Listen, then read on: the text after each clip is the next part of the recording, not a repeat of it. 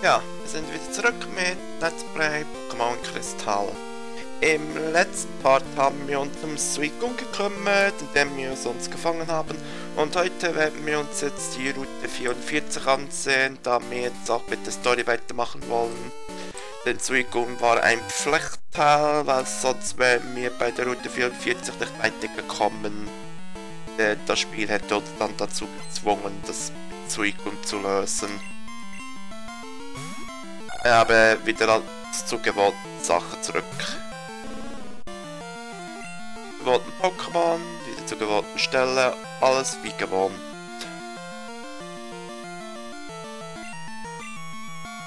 Ja, so gut wie es halt geht. Wenn unser Ziel wird auf jeden Fall jetzt dann sein, dass wir jetzt in den nächsten dann eben dann bis nach Emerald City fortkämpfen, denn dort erwartet uns dann die achte und letzte Arena von Johto, in dem uns auch noch der achte Arena-Leiter erwartet. Und der wird es auf jeden Fall nicht ganz einfach haben. Denn wir werden da auf jeden Fall nicht gerade ein einfaches Spiel haben, da die mit Pokémon des eines Types Kräfte, als stark sind. Ich werde jetzt bald bemühen, es doch nicht zu verraten. Sagen wir eins davon, wir werden auf jeden Fall fast das gesamte Arsenal gebrauchen gegen sie. Dann gegen Kadabra. Braucht man eigentlich auch wieder etwas Physisches. Wir haben fast nichts Physisches, das ist das Problem. Wobei ich glaube, gegen Psycho Wobei ich jetzt da gerade absolut nicht sicher bin. Wenn ich lieber auf die Unbesicher gehe, mache ich einfach einen Kopfnuss. Weil, und ich Attacken, es wäre zwar sehr effektiv, aber die sind dann leider alle speziell, also Sepp ist schon auf Kopfnuss angewiesen, also werden wir Kopfnuss auch weiterhin behalten eine für Psycho-Pokémon, die halt eine schwache physische Abwehr haben. Ach, und unter der Mama kauft uns auch wieder ein paar Items ein. Diesmal ein dekoratives Item für unser Zimmer. Das ist auch ziemlich süß. Hier gibt es auch wieder ein paar Items. Nicht sehr viele, aber immerhin einige. Ich bin beim Bären wir eben einen Brandbär und hier zum Beispiel einen Top-Schutz.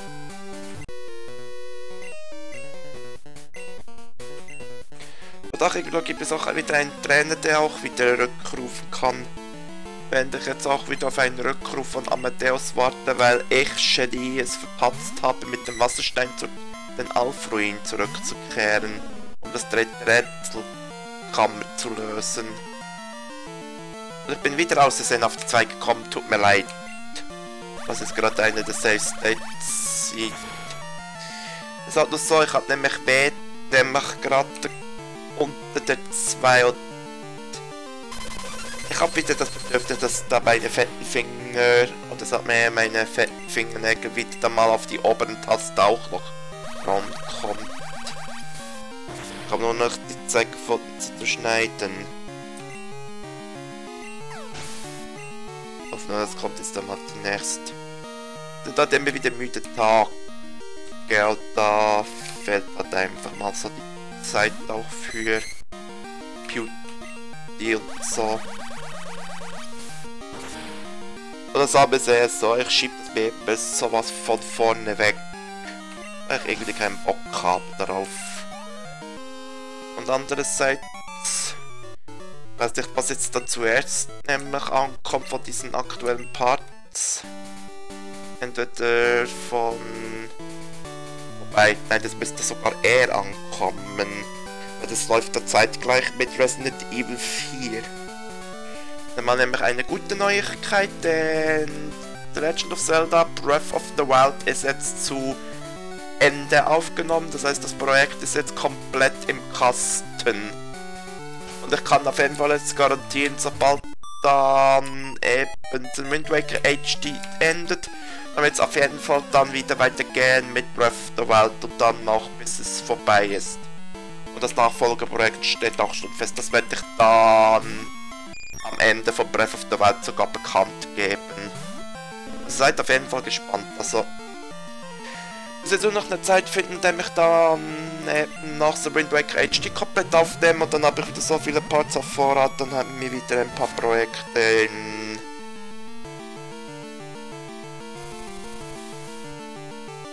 Vorbereitungen. Willst du mich jetzt ehrlich langweilen mit diesem blöden Schlaf oder wie?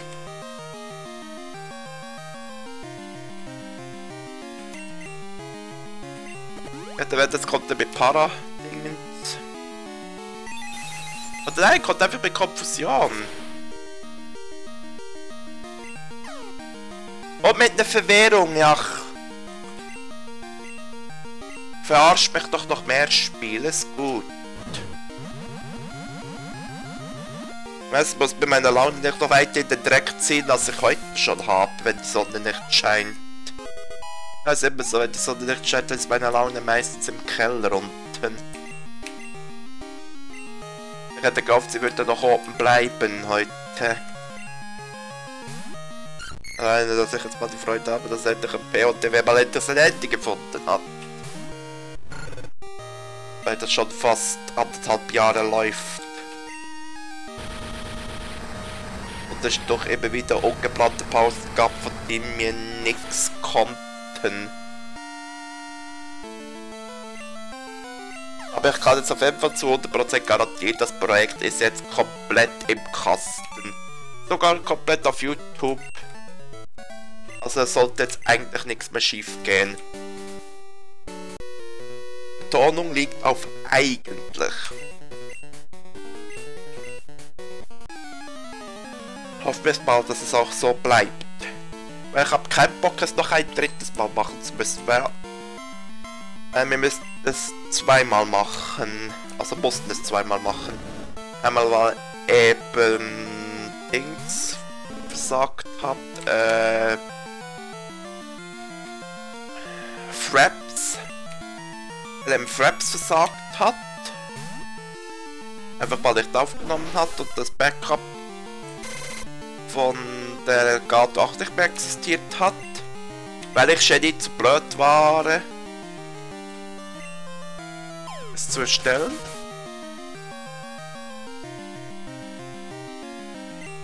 Deswegen musste ich es rekonstruieren bis zu dem Teil. Ja gut, wir waren da auch nicht gerade allzu weit fortgeschritten, da ging es ja noch. Aber jetzt ehrlich, wenn jetzt das Finale scheiße lief, oder es verloren geht, weil das tun wir nicht nochmal an. Das haben wir jetzt auch gemeinsam beschlossen, wir tun das uns nicht nochmal an.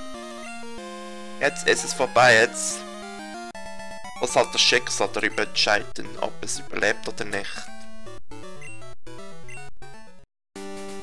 Und am anderen Together-Projekt, was wir gerade zusammenarbeiten, sind wir auch schon gut an der Reihe. Da kann ich mal eine kleine Vorabinfo geben. Das werdet ihr dann ausschließlich bei Keanu sehen, aber ich werde dann die Parts bei mir verlinken. Und so wird dann das Projekt dann veröffentlicht, sobald wir mit den Aufnahmen fertig sind. Um auch schon mal zu garantieren, dass es keine Probleme gibt.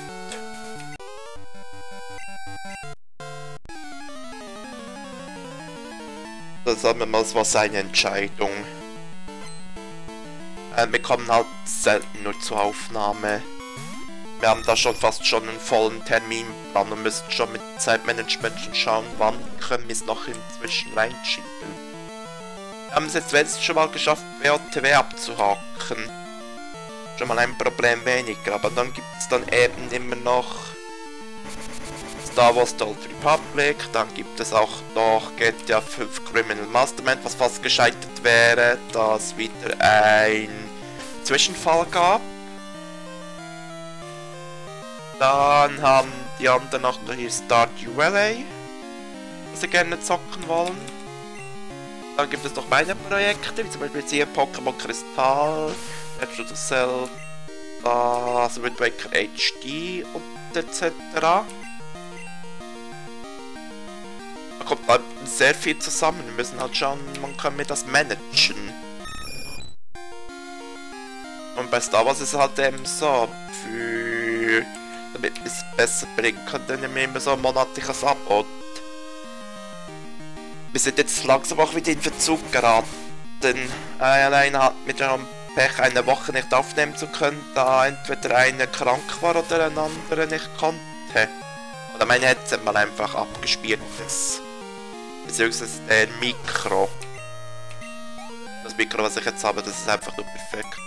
Ich habe zwar das Tasten und die Gamepad klackern immer noch, aber das ist jetzt damit nehmen, ich kann es nicht besser. Immerhin ist meine Stimmquali dass ich jetzt nicht unbedingt die Sätze schreien muss. Das ist durchaus annehmbar. Oder steht mir doch dazu. Ne?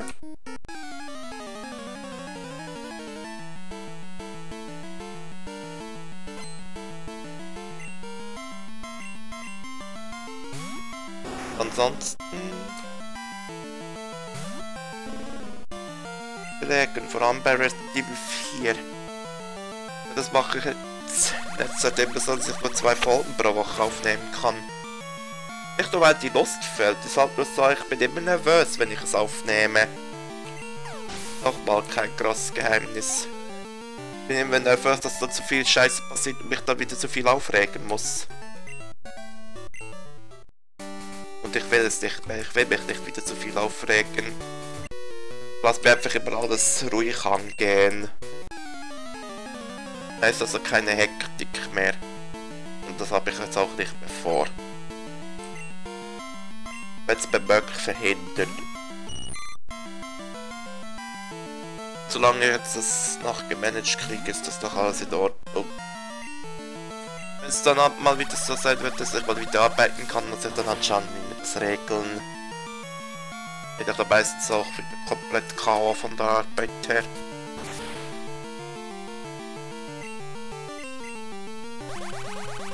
Aber das ist jetzt mal ein anderes Thema, das kann ich dann erstmal in der Betracht ziehen, wenn es dann mal endlich dann mal einen positiven Lichtblick gibt. Also sprich, wenn dann wirklich alles wieder im Lot ist. Was wir sonst so für Projekte bringen können, weiß ich jetzt auch nicht mehr. Da fällt mir jetzt gerade aktuell nichts ein und Entschuldigung für das etwa... Jetzt hätte vielleicht bin wieder aus Versehen ans Mikro gekommen.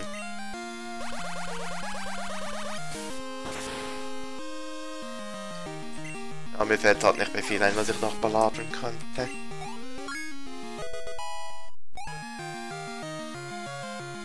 Ist halt eben wieder so, wenn ich es nicht wieder kann, dann habe ich wieder das Gefühl, ich habe wieder meinen Job nicht richtig erfüllt. Es einfach nicht richtig kann. Gut, Golker könnte jetzt ein bisschen der größere Gefahr geben. Schnabel käme. Na gut, Hornattacke ist auch nicht gerade schwach. Ja gut, das war jetzt nur ein Volltreffer.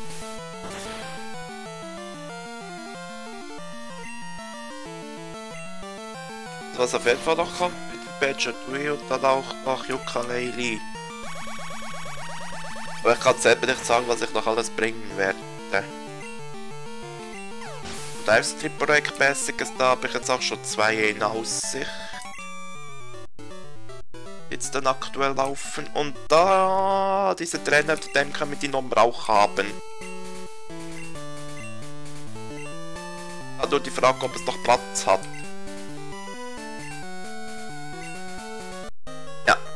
Denn von ihm kriegen wir nämlich auch Items. Er bevorzugt Bockbälle jeglicher Art. Ich weiß jetzt nicht von was alles. Was mir auf jeden Fall ausschließen kann, sind Meisterbälle. Als ob, der, als ob jemand einen Meisterball wegwerfen würde.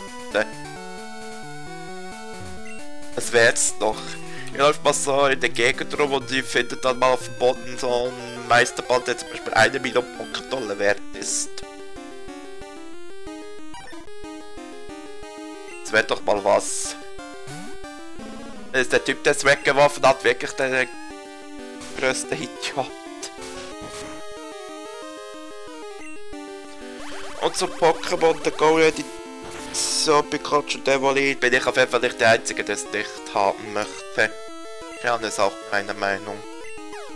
Es ist zu schlecht gehalten. Das setzen wir jetzt beide auch aus für das nächste Gen. Ich hoffe, dass dann wieder eine richtige Gen wird und nicht wieder so ein Pokémon Go abklatsch.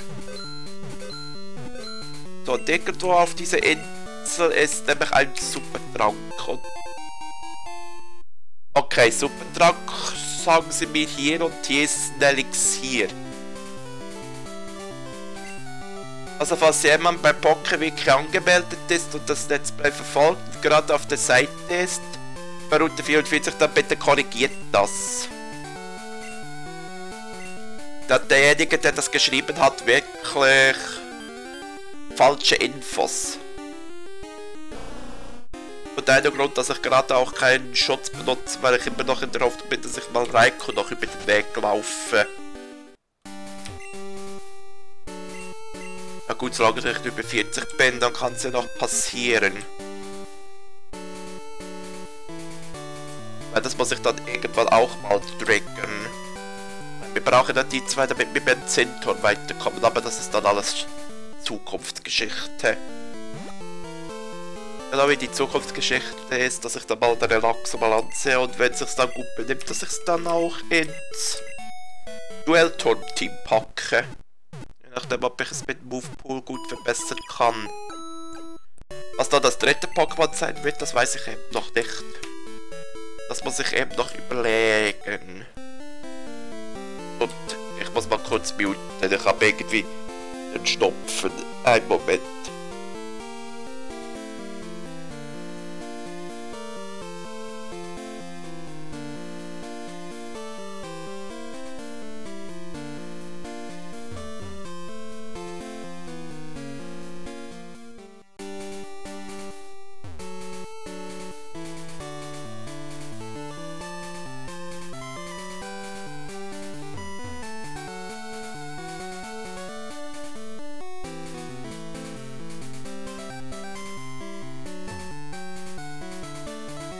Ist einfach ärgerlich, wenn man noch einen Schnupf dazu hat.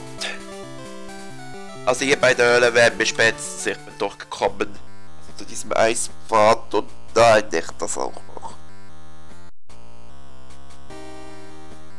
So, ich muss mal kurz raustappen. Ich brauche jetzt Eispfad wegen den Items.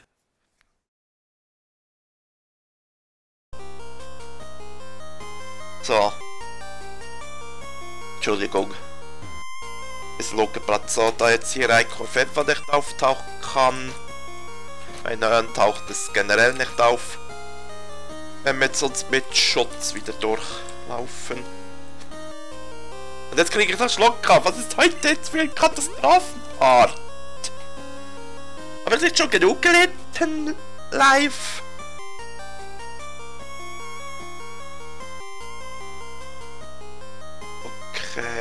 Ersten Untergeschoss im Felsen. Ich glaube, ich werde einfach den Detektor mal immer ab und mal aktivieren, in der Hoffnung, dass ich mal etwas kennen könnte. Und die... Der Eispfad hat sich auf jeden Fall gewandelt sieht jetzt auch wieder eine richtige Eishöhle aus.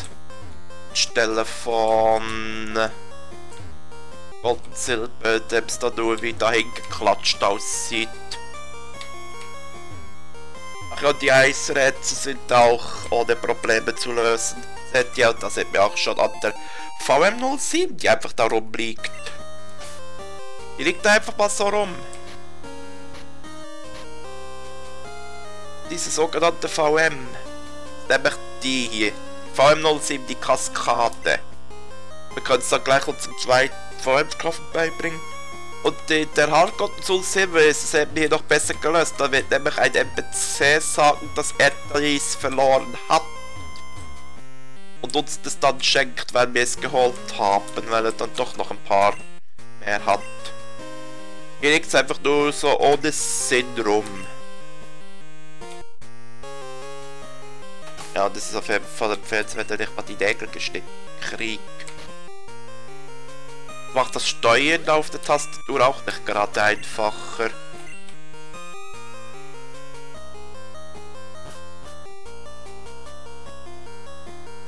Nein, vor allem Kraft musste ich ja schon haben. Dafür musste ich gerade Rosanna ablegen. Ja, wir werden jetzt hier wieder ein Eisschieberätsel haben. So, diese hier ist Ballon. Kann ich nirgendwo hinschieben.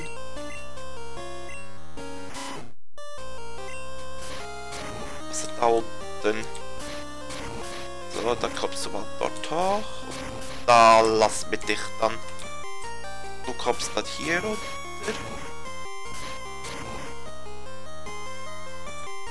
Muss mir dann schauen.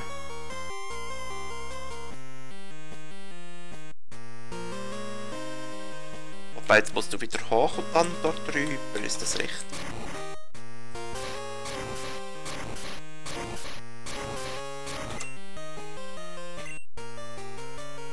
Weil die brauchen wir eben für das weiter weitere Vorankommen, diese Steinblöcke.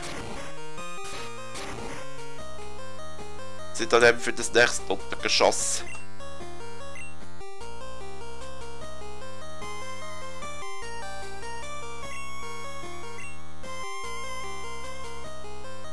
Okay, das hier müssen wir jetzt auch wieder schieben.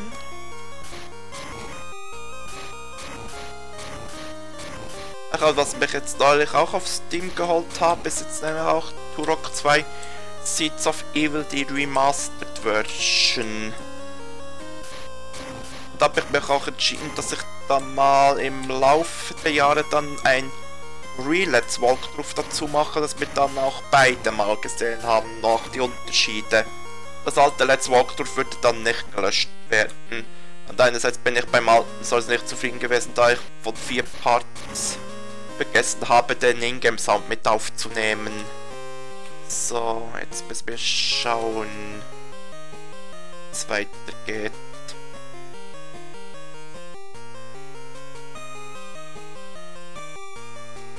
Wobei, du musst hier rüber, dann musst du hier hoch, hier rüber, dann hier rüber, dann hier rein. Oh, gelöst. So, jetzt nur noch du. Hier rein. Es sind nämlich vier Felsen, die alle platziert werden müssen.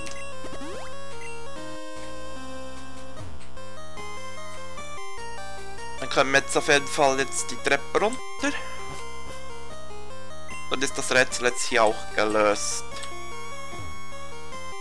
Ähm, mit diesen Steinarnoten kommt man jetzt dann eben hier in die Mitte. Aber ich glaube, man kann es auch abkürzen, wenn man in einem bestimmten Loch runterfällt und auch nur ein Stein verschoben hat. Habe ich es zu wissen. Zumindest war es bei der Golden Edition so. Das habe ich beim Speedrun gemacht. Ja. Ich habe mal Pokémon Gold gespeedrunnt.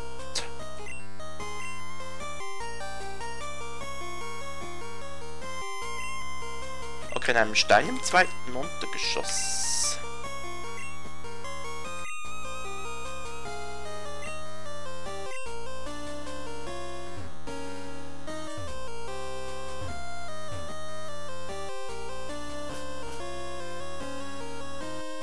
Ach ja, drüber kann man die auch gebrauchen. Aber das haben wir mit unserem neuen VM-Sklave. Denn hier findet man auch noch ewiges Eis. Moment. Nach dem Rutschen über eine Eisfläche im dritten Untergeschoss? Okay. Einen Moment mal, bin ich jetzt entweder bei Hardgold Soul Silver gelandet oder ist die Infos alle falsch? Das erste Mal, dass Poké-Wiki mich anlügt. Oder verwirre ich mich gerade selbst? Okay, ich kann das wahrscheinlich auch nicht betrauen. Entweder bin ich bei der falschen Seite, bei Hardgold Soul Silver gelandet.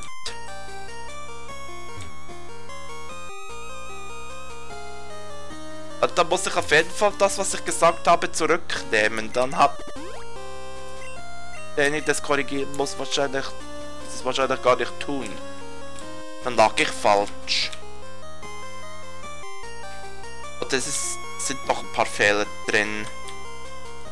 Ich kann das jetzt nur nicht gerade nachgucken. Ohne dass der Ton nochmal weg ist.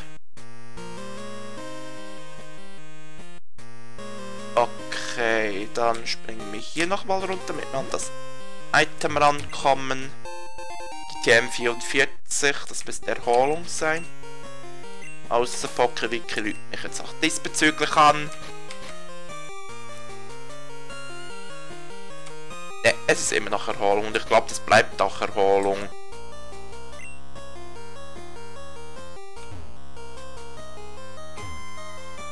Kann auch sein, dass ich ein paar Items übersehe, weil den Top-Trank habe ich jetzt zum Beispiel echt gefunden. Oder äh, der Eisheiler, der angeblich versteckt in einem Stein im zweiten runtergeschossen sein soll.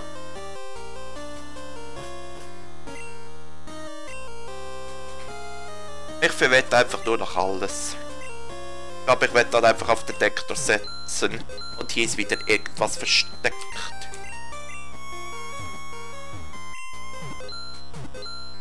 Könnte jetzt einer dieser Steine sein. Ja, hier ist der Top-Trank.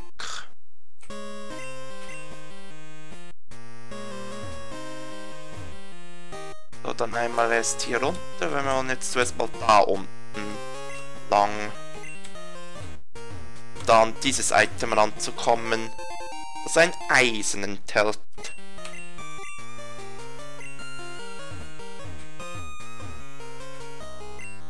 Und jetzt kann ich ja den noch verkaufen. Also die Frage, ob ich dann immer noch genug Geld hätte, um die dann zu holen. Sonst müsste ich es halt ohne machen. Ohne diesen stärkenden Dingen. Wenn ich sie dann einfach trainieren möchte für den Duellturm. Weil ich brauche ja das Geld nämlich für die gesamten Hyperbälle. Ich muss dann wieder so etwa 30 Stück auf Vorrat kaufen. 50. Er. Er 50. So, hier haben wir nochmal ein Protein.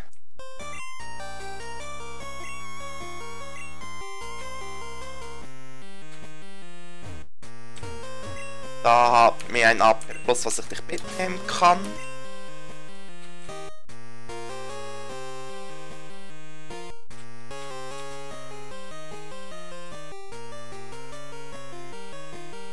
Schmeiß jetzt einfach den Feuerheiler weg.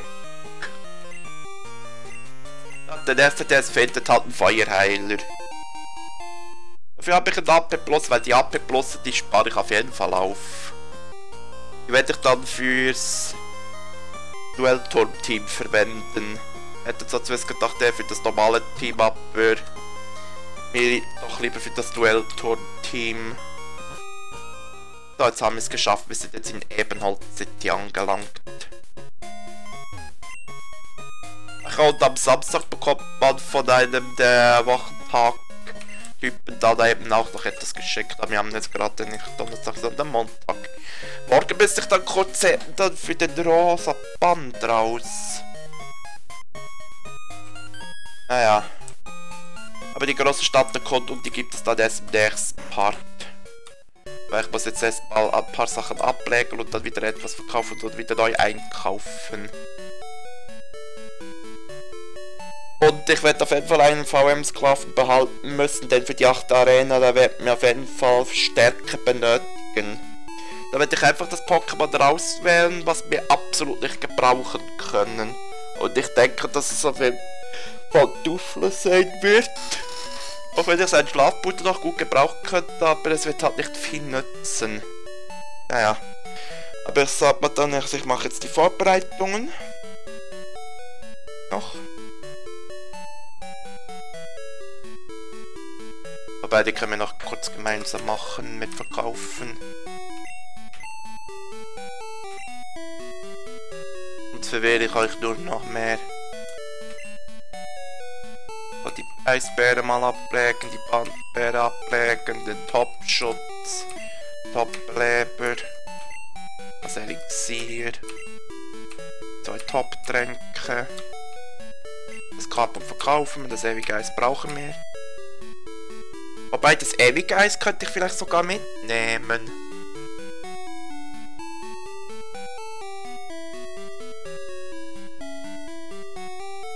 Und AP Plus.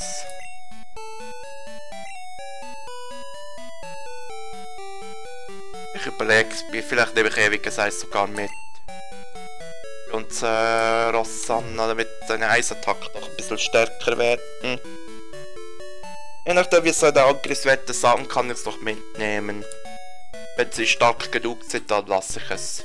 Ich will gleich dem noch den Pokémon machen. Der müsste jetzt auf jeden Fall Hyperbälle haben.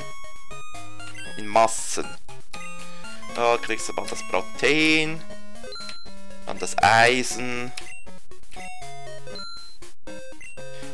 Denke, wenn ich nur so wenig Geld habe, muss ich auf jeden Fall eher auf Dingens gehen. ohne diese stärkenden. So, wie viele Hyperbälle habe ich? Also 6. Kaufe ich mal für den Anfang weitere 24. Weil man sieht, die sind nicht gerade sehr billig. Hier können wir uns sogar schon mit Top-Dreck versorgen. Aber momentan ist das jetzt noch nicht notwendig. Das würde ich mit der jetzt für die Pokéliga aufsparen oder für den Secret Trainer. Also für den allerletzten Part. Und wir könnten uns jetzt auch mit Top-Schutz versorgen, aber ich glaube, der Superschutz ist nämlich in Sachen von Top-Schutz zwar halt in Leistung ein bisschen unterlegen, aber dafür preislich immer noch besser. Naja, aber ich werde jetzt dann mal den Part an der Stelle beenden, den Stadtbomben und die Arena werden wir uns dann im nächsten Part widmen. Danke fürs Zusehen, ciao und bis zum nächsten Part. Adios.